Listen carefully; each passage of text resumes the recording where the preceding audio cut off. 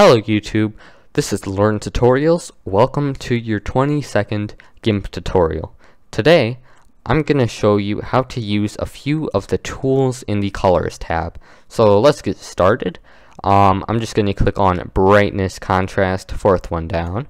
So when you click on it, dialog's going to pop up like usual, and you're going to see a whole bunch of stuff. It's really simple though. Uh, the brightness slider, if I just move this over here, is really self-explanatory.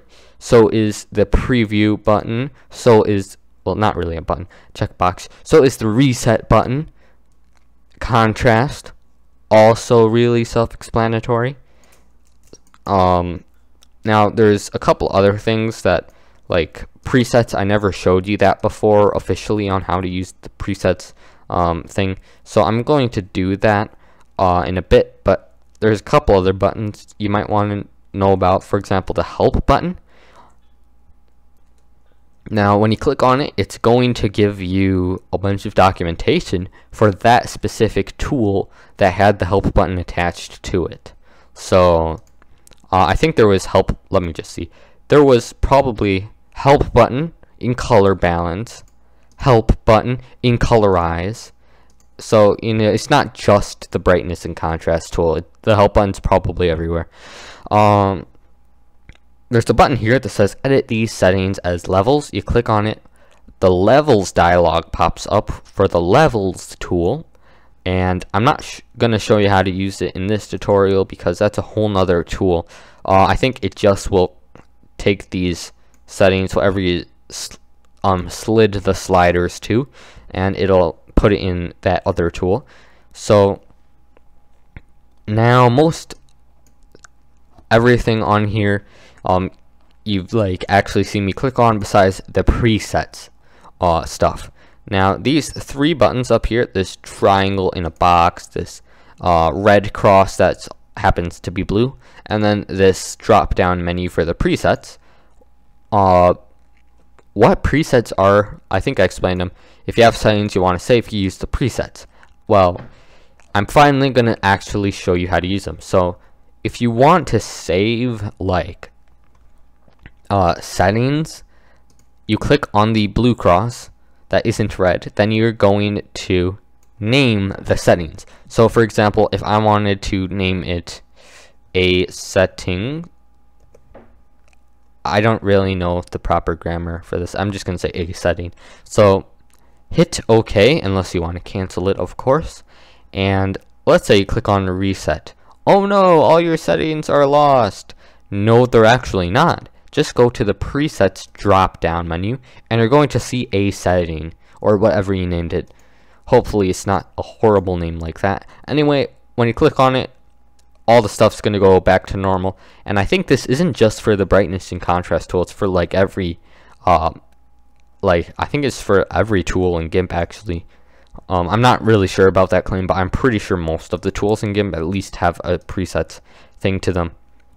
Even the brushes, and I'm actually going to get into that in another tutorial.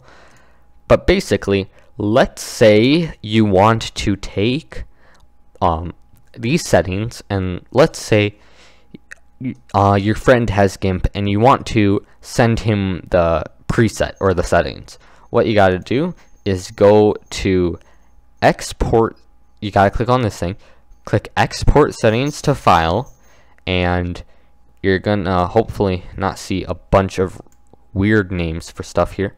You're going to name it whatever you want, and then click save.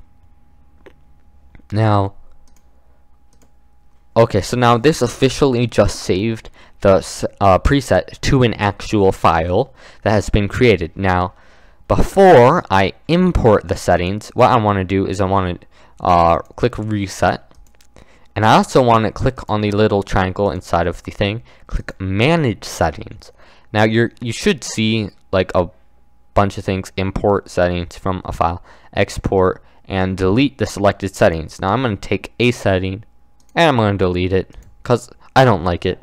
But there is a way to get it back because I did export it uh, to a file. I can import it from that same file. So if I click on import, and then you can see whatever you want is down here click open and ta-da it's going to actually um, like actually import those settings from the file. Now I just want to let you know that importing the settings from a file is not creating a preset. There are no presets in the drop down menu. If you go to manage settings no presets or settings well they're the same thing.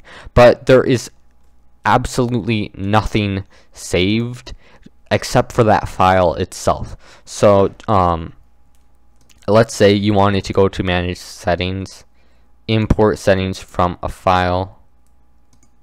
Why isn't that working? Okay, this is weird.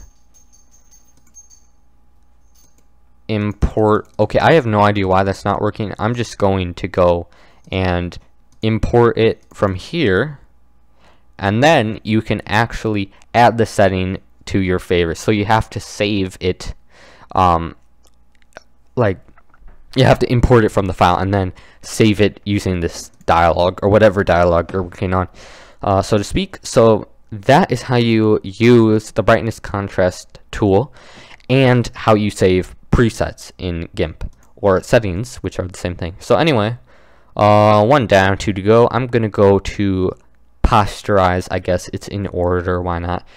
Preview, uh, reset. I guess it just is um, default at three. You have the help. Okay, cancel. Red X, I guess. And then you have posterized levels, the only thing unique about this tool. So basically, what this is, is it looks really high contrast, and that's kind of because it is but it's not just making contrast. What it's doing is if you slide it all the way to the right, 256, I'm pretty sure that's not a coincidence. That definitely has something to do with RGB values. So it's reducing the number of colors the farther it is slid to the left.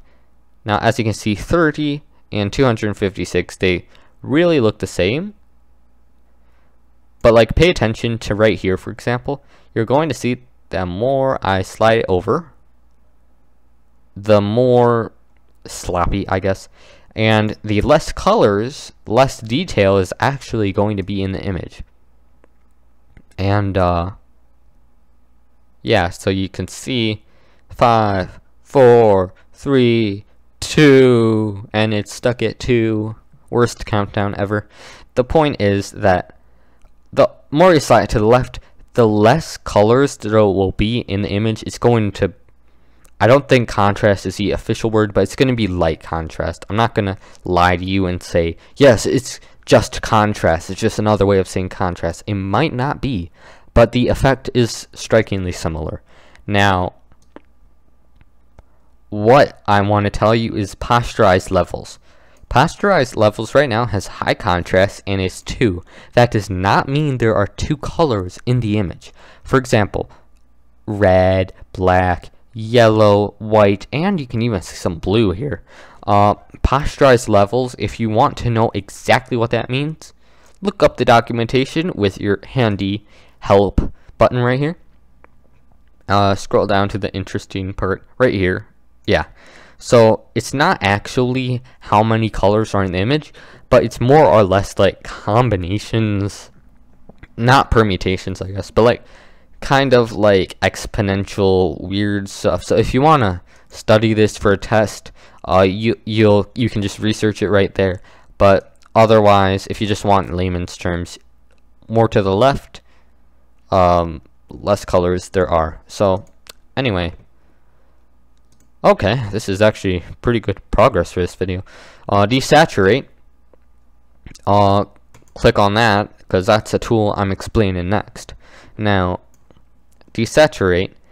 Well, it removes colors. Obviously, it's going to take the image, turn it into a black and well, not a black and white. Like there's only black and only white, but it's like a grayscale, I think that's the term for it, a grayscale image. But when it does this, it's not actually like, how do I say?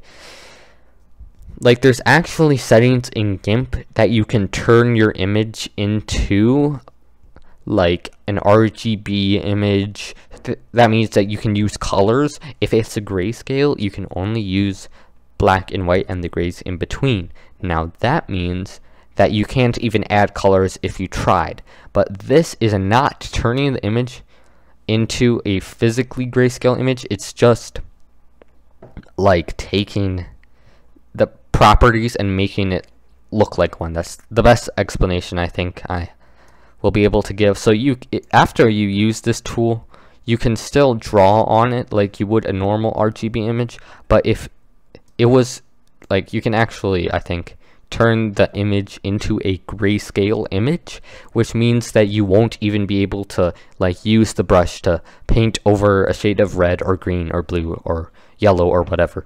So I just want to get that clear. It might be useful one day.